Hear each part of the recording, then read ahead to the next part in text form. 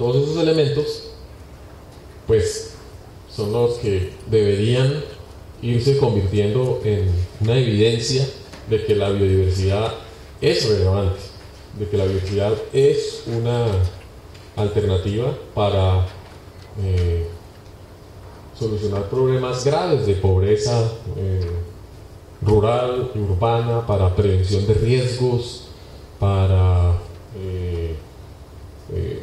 garantizar la persistencia de servicios ecosistémicos a largo plazo, en fin, en la biodiversidad radica en gran medida la expectativa o las esperanzas de que la vida en el planeta, la nuestra, pueda seguir funcionando.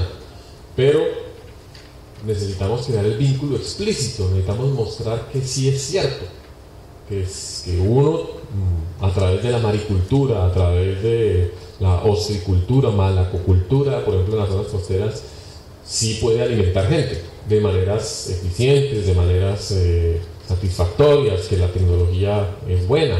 Y para eso hay que invertir en investigación y desarrollo. los sectores no entienden muy bien cómo la biodiversidad realmente les está aportando.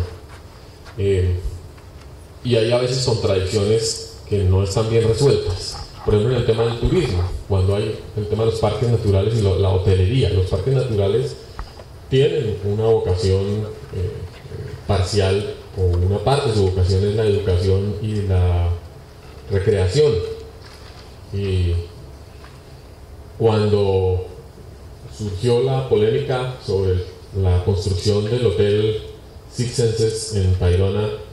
Entonces los inversionistas dijeron, pero primero nos invitan a que hagan un hotel dentro del parque porque eh, es el, recurso, la, observación de aves, que es lo que la gente realmente quiere ir a hacer en el Tayrona o, los recorridos por el bosque seco, el disfrutar las playas, es un servicio ecosistémico del parque, nos invitan a invertir y luego nos cambian las reglas y nos dicen no, ya no pueden invertir porque no se pueden construir hoteles dentro de los parques.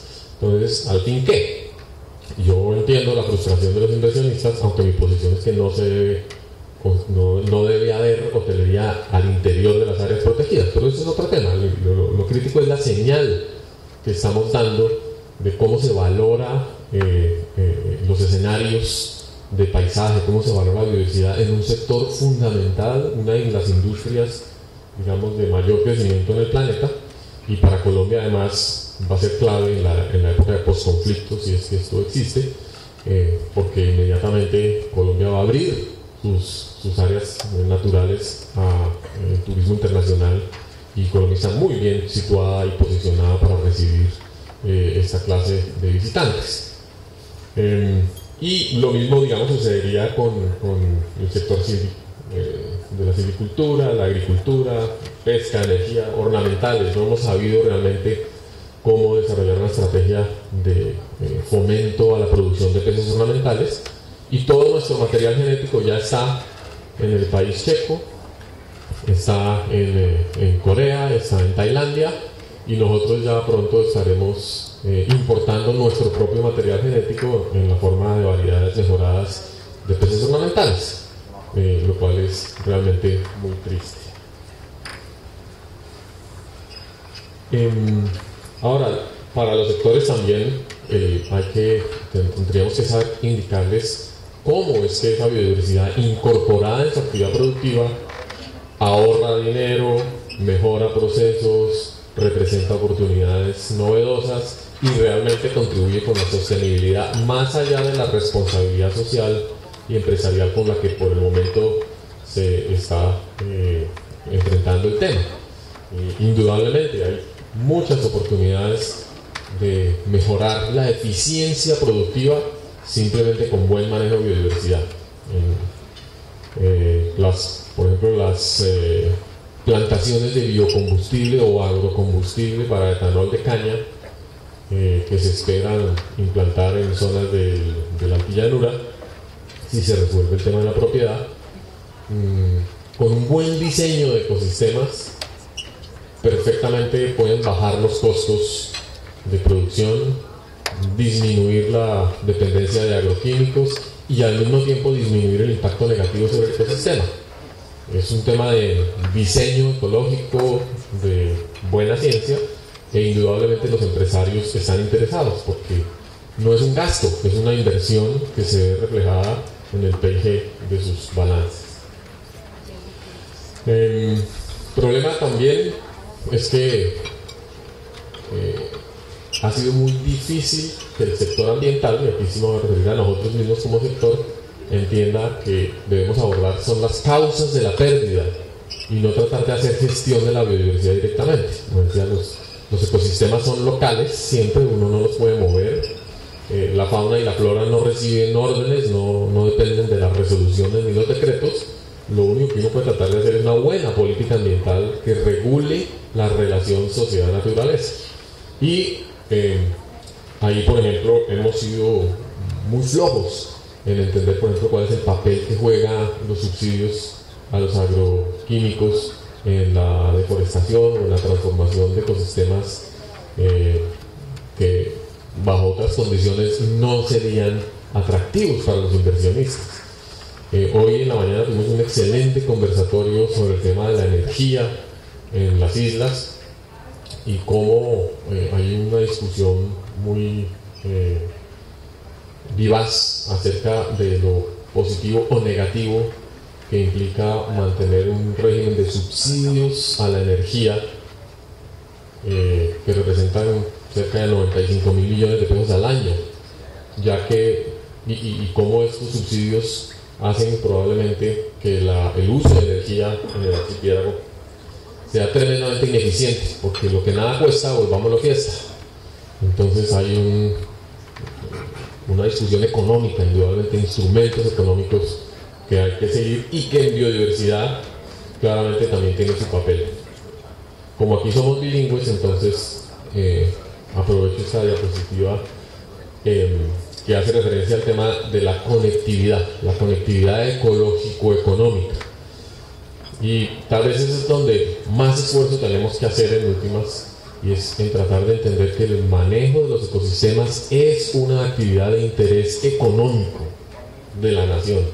No es eh, solamente un, eh, factor de, interés cultural o de interés eh, social, sino tiene una dimensión económica que ha sido poco destacada. Y no estoy refiriendo necesariamente a una visión de economías de mercado o una visión eh, digamos, neoclásica de la economía, pero en cualquier circunstancia eh, los ecosistemas son la base de la economía o de una parte de la economía, para no ser pues exagerado. Y como realmente en, Colombia o en muchos países del mundo, sus sistemas de áreas protegidas realmente no está claro qué papel juegan en la planeación del desarrollo ni ecológico ni económico, porque a la larga tampoco es que sean tampoco es que estén muy bien diseñados desde el punto de vista ni de la representatividad, ni de la integridad, ni de nada. Las áreas protegidas eh, pues se construyen más o menos donde se puede, de acuerdo con ciertos consensos sociales.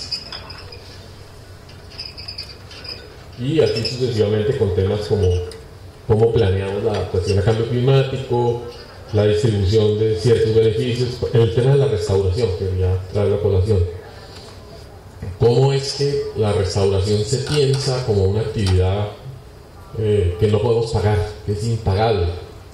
Eh, cuando restaurar la capacidad productiva de un sistema siempre debería ser viable haciendo cuentas de los costos de oportunidad y con unos horizontes de tiempo razonables. Entonces el experimento que está haciendo Carlos con los pescadores puede ser muy costoso en este momento, pero si logra desarrollar una tecnología de producción de langosta eh, que en 10 años esté representando un renglón de la economía isleña, indudablemente que se pagan los costos de la innovación pero esos horizontes de tiempo y de inversión no están claramente referenciados en la política ambiental y la restauración sigue siendo un, un negocio a pérdida, porque además se gastan millones de pesos en, entre comillas, reforestar y esas reforestaciones a los tres años ya no existen. Bueno, finalmente el tema de los datos, no, no, no son las islas, son otras islas eh, extraídas eh, de, de, de, otro, de otro país, mm, que es el sistema de Granada, el sistema de áreas protegidas.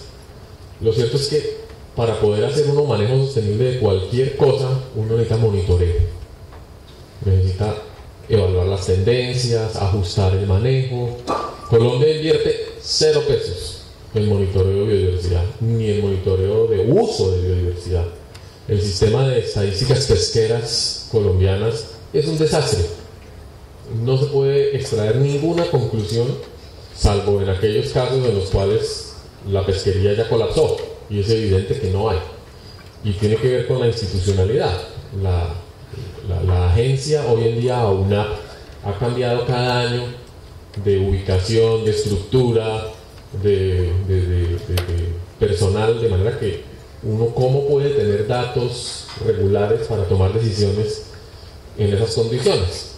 Si estamos reconstruyendo el censo agropecuario, imagínense cómo será con el tema de biodiversidad. Sin embargo, no solo es deseable, sino es factible tener un sistema de monitoreo eh, con múltiples entradas. Y esos costos se pagan. Pero claro, está en nuestras manos también, en investigadores y, en otros sectores, demostrar que, que sí estamos en capacidad de producir buena información y que no simplemente estamos recitando estadísticas año tras año como hemos venido haciendo, debo confesarlo, los últimos 20 años. Y cifras además que tienen que ver con el estado de conocimiento y no con el comportamiento de los sistemas. Y, les voy a pedir que alguien me haga caritas de tiempo porque yo puedo seguir y seguir y no traje mi reloj. Entonces, para no abusar, para ser estricta con, el tiempo. Eh, bueno, qué sorpresa, pues que una vez hechos por ley, todos los países del mundo tienen que tener una estrategia nacional de áreas protegidas. Yo tengo mi biblioteca cerca de 80 libros de 80 países con sus estrategias de manejo de biodiversidad, no de estrategias de manejo de biodiversidad.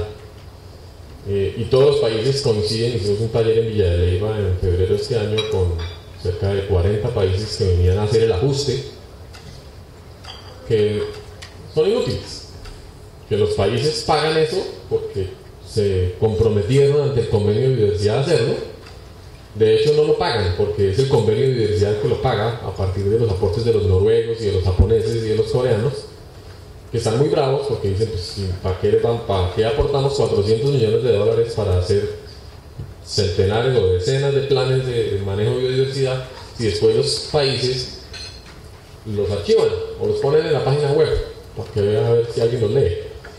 Entonces, realmente es muy poco práctico todo lo que se está haciendo en el tema de planeación y mejor, acercar la incidencia en el manejo de biodiversidad. Bueno, entonces ya las tres partes que quedan las uso mucho más cortas, siempre el contexto es más complicado. Eh, realmente para abordar esa frustración o esa preocupación hay una serie de respuestas globales, algunas nacionales, no escritas, y les voy a tratar de dar una imagen de lo que está pasando hoy en día. Lo primero, se creó el panel intergubernamental para la biodiversidad y los servicios ecosistémicos. Ustedes han escuchado del IPCC, que es el panel para el cambio climático, que produce informes anuales y acaba de publicar su cuarto informe, no anual, cuatrienal, el cuarto informe sobre el estado del clima en el mundo.